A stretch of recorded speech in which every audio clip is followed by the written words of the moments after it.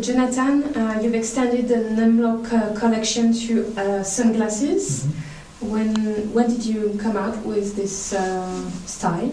Uh, sunglasses is what we will develop um, instead of watches. We, we are actually trying to develop some more items like headphones and sunglasses, and this is our first collections. And you can see that there's a dual color which is still sticking to our general directions, which looks simple. Um, Get a match. That match Yep. the exactly. Mm. So there's uh, the lens is with UV foreign protections, and you can feel that the weight is very light and easy for both girls and boys to wear.